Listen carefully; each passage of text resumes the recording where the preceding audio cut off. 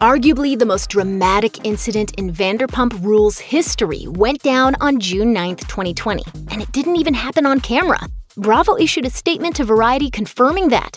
Stassi Schroeder, Kristen Doute, Max Boyens, and Brett Caprioni will not be returning to Vanderpump Rules. The show, notorious for constantly adding new cast members instead of firing anyone, arrived at the shocking decision after former cast member Faith Stowers called out Schroeder and Doute for calling the cops on her in 2018. As Stowers recalled, the women called the police on Stowers after reading a Daily Mail article about a black woman who was allegedly drugging and robbing men in Los Angeles.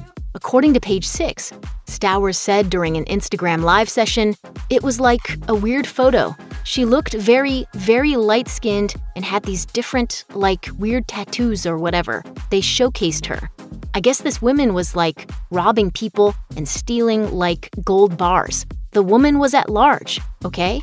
She was drugging them. She was on a mission. They called the cops and said it was me. yes. And so, and this is like true story. This is I heard this from actually Stassi doing an interview. On June 7, 2020, after multiple brands ended sponsorship deals with Schroeder, she apologized for her actions on Instagram. By the next day, Variety reported that Stassi was dropped by her agent and longtime publicist. The publicist firm told Variety, We made the decision this weekend to part ways with Stassi. Doute also issued an apology, but it was too little, too late. In January 2020, racist tweets from Boyens and Caprioni's past resurfaced as well. We live in a generation now where saying some things, even if you are of that culture, is it's just frowned upon. Boyens told Entertainment Tonight, I want to sincerely apologize for what I tweeted in 2012. It was wrong on every level. It is not a representation of who I am. I'm shocked I ever tweeted that. And I am disgusted and embarrassed. I am truly sorry.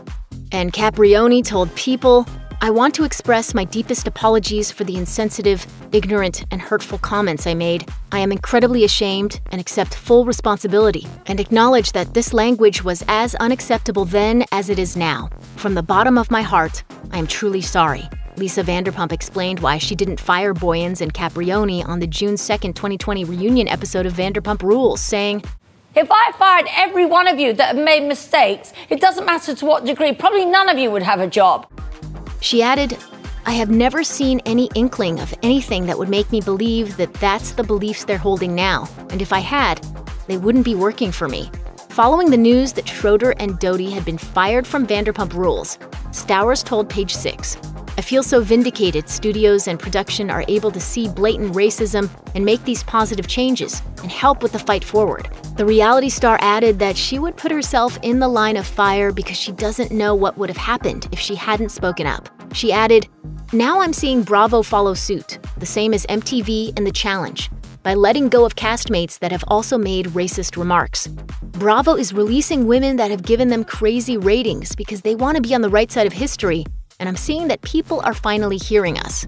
Stowers noted that she hopes that others in the industry are, quote, ready to hire casting directors and producers of color to make sure these changes are not just a one time thing. Bravo has stated a commitment to fighting racism in recent days. On May 31, 2020, the network tweeted with the Black Lives Matter hashtag Bravo stands in solidarity with the black community against systemic racism and oppression experienced every day in America. We owe it to our black staff talent, production partners, and viewers to demand change and accountability. To be silent is to be complicit. Bravo's parent company, Comcast NBC Universal, has promised to commit $100 million to a multi year plan to advance social justice and equality. There will also be efforts toward diversity and inclusion among employees. The company plans to amplify Black voices and Black stories, highlighting diverse cultures, and shedding light on inequality. That night, Bravo aired a two part episode of Watch What Happens live with Andy Cohen dedicated to a discussion about Black Lives Matter, featuring Real Housewives of Atlanta star Porsha Williams and comedian activist W. Kamau Bell. You're going to do and say the wrong thing. Yeah. Accept it. And when you say the do and say the wrong thing, do this thing that humans do called apologizing and working to make it better. Check out one of our newest videos right here. Plus, even more Nicki Swift videos about reality TV are coming soon. Subscribe to our YouTube channel and hit the bell so you don't miss a single one.